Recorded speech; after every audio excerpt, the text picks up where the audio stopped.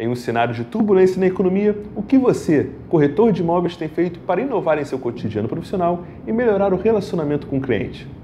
Para se destacar no mercado, é preciso desenvolver uma estrutura de atendimento eficiente, que passe em compreender as necessidades do cliente pela concretização do negócio até o contato permanente após a venda.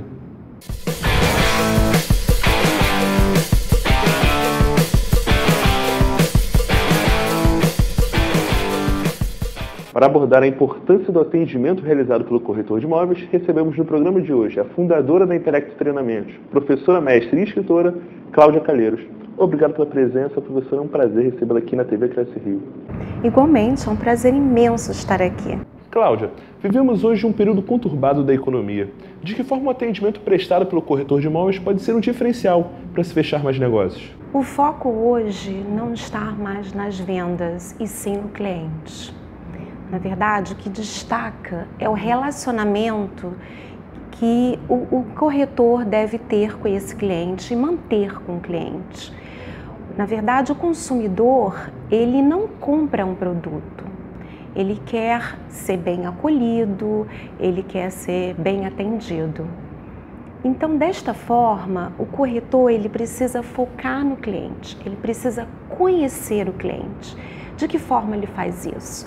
Fazendo o levantamento dos seus hábitos, dos seus gestos, enfim, na verdade, das suas necessidades para superar, para ir além daquilo que o cliente deseja. Também o corretor, ele precisa analisar os produtos no sentido de oferecer soluções para o cliente porque o cliente assim ele vai se sentir satisfeito com o atendimento.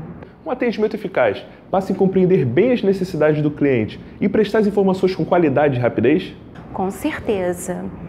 Eu só quero destacar uma, um ponto fundamental na sua pergunta, aliás, muito inteligente, muito importante.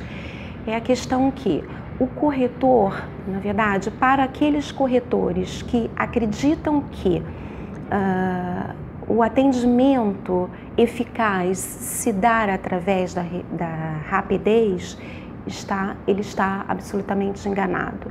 Ele não se dá através da correria e nem da pressa. Ele se dá uh, de que forma? Uh, com prontidão, com dinamismo, com desembaraço e a percepção, ou seja, o feeling de entender o que o cliente deseja, antecipando as suas necessidades ah, a fim de encantá-lo. E como um contato permanente após a venda pode ser importante para fidelizar o cliente? Como esse contato deve ser feito?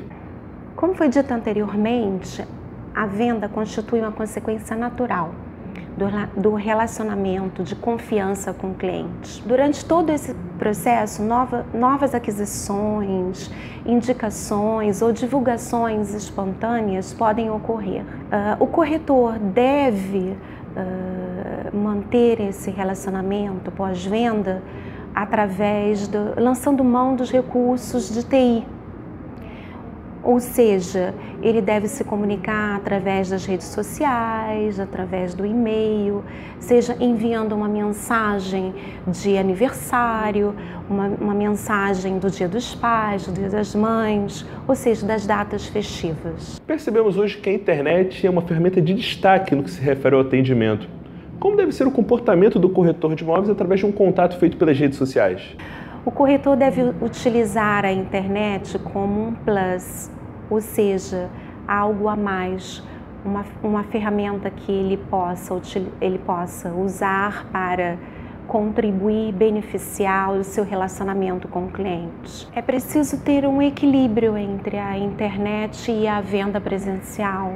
Ele não deve invadir o espaço do cliente, a privacidade do cliente, não deve ter excessos e tem que ter uma preocupação muito importante, acima de tudo, com a linguagem. A linguagem tem que ser adequada ao contexto.